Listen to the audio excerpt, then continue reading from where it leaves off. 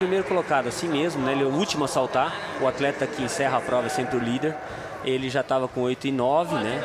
Acabou vencendo a prova com 8 metros e 9. Agora é aplaudido aí o atleta chinês, sai feliz. Porque ele teve a oportunidade e foi competente. Tá aí a sorte dele é essa, né? Quanto mais você treina, mais sorte você tem, não é Exatamente. É, quanto mais você treina, mais você usa da tábua, mais você aproveita o melhor salto. Aí, aí a sorte, a sorte é uma coisa impressionante. E olha só, o Angjianan 8 e 9.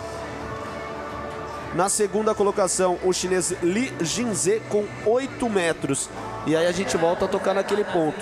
Não usou muito bem a tábua, 10, 12 centímetros o Li Jinze poderia estar comemorando da maneira efusiva como ele fez.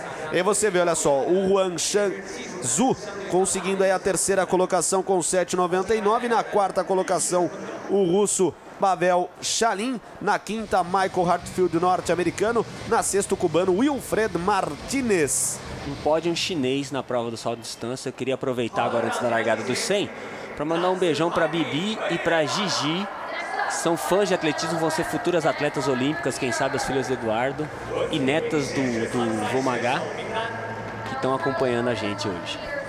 Eles colocaram ali, é, acho que colocaram o GC errado, agora sim, corrigiram ali, olha só, os 100 metros feminino. Não, mas 100 metros feminino já rolou. Ah, agora sim, 100 metros feminino já rolou. 100 metros masculino, a grande Final que você vai acompanhar agora na tela do Band depois de uma sopa de letrinhas por parte da geradora oficial dos 100 metros masculino. Agora sim, para você. Olha, o Chambers está escrito em chinês ali também, hein, Ivan? Vamos encerrar o evento aqui com 100 metros rasos, o xodó da transmissão, né não, Ivan? É verdade, o Chambers aí então vai competir na raia de número 1 nós temos na rádio número 2 o Su Bingtian. Su Bingtian que tem 10,06 como melhor resultado da vida. Na raia de número 3, aí sim, Justin Gatlin. Um dos grandes nomes do atletismo. E nessa prova vem como grande favorito também, Cleverson. Ele que está fazendo a festa na Ásia. Venceu o GP de Tóquio, venceu o GP de Xangai e agora vem para Beijing para completar a tríplice coroa. Aí o norte-americano Michael Rogers. Mais um atleta que já correu, ele tem 9,85, né, abaixo dos 10 segundos e foi segundo colocado nas duas competições, Tóquio e Xangai. Ele que compete na raia 4. Na 5 temos o também norte-americano Kate Ricks.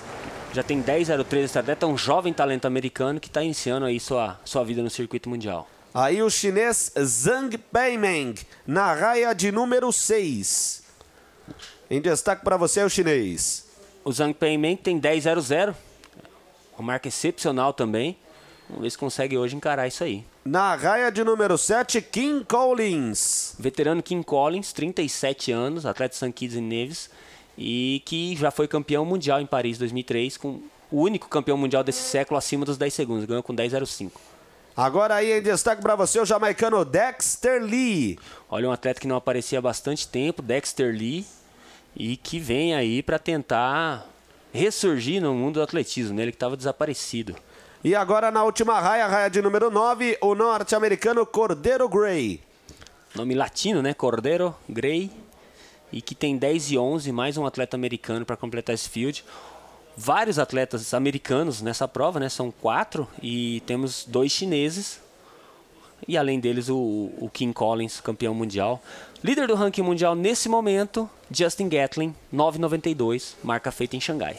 E lembrando que os três que tem como melhor marca pessoal abaixo dos nove é o Justin Gatlin na raia 3, o Kim Collins na 7 e o Michael Rogers na 4. São os únicos que estão nessa competição que já viraram na casa dos nove altos, todos os outros na casa dos 10 baixos. Vamos ver, partiram. Você vendo aí o, Justin Gatlin já abrindo muito bem a diferença, já vai deixando os competidores para trás. Impressionante o desempenho de Justin Gatlin. Ele voa abaixo nos 100 metros masculino para fechar com chave de ouro a etapa de Beijing do World Challenge.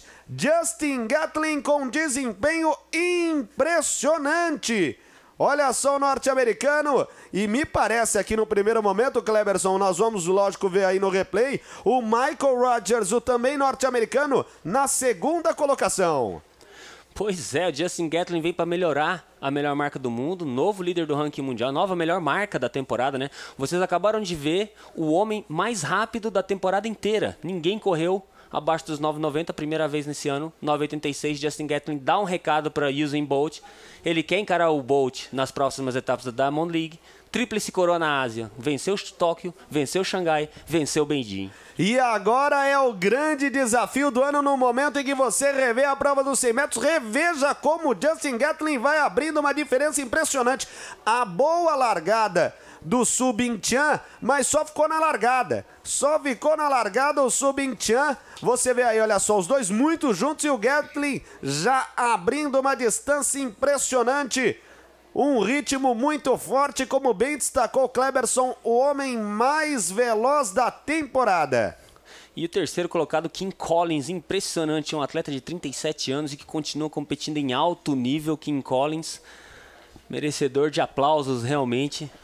Agora, o que o Gatlin fez na Ásia nessa, nessa temporada dele foi, foi demais. Ele correu 10,02 em Tóquio com vento 3,5 no peito. Ele correu 9,92 para assumir a liderança do ranking mundial em Xangai. E agora vem para melhorar com 9,86. Está em grande forma. Espetacular a prova de Justin Gatlin e o que promete um 2014 com Bolt versus Gatlin. Mais uma vez, muito obrigado por estar aqui ao meu lado, Kleberson. E vamos ter aí um ano de atletismo recheado nos 100 metros Kathleen versus Bolt. Eu que agradeço, Ivan. Hoje a transmissão foi realmente fantástica. E a operadora de Beijing colaborou bastante. E um abraço para o assinante. Esperamos dentro em breve anunciar novas transmissões de atletismo para vocês. Um grande abraço a todos. Muito obrigado pelo carinho da sua audiência. Band Sports, o canal de todos os esportes.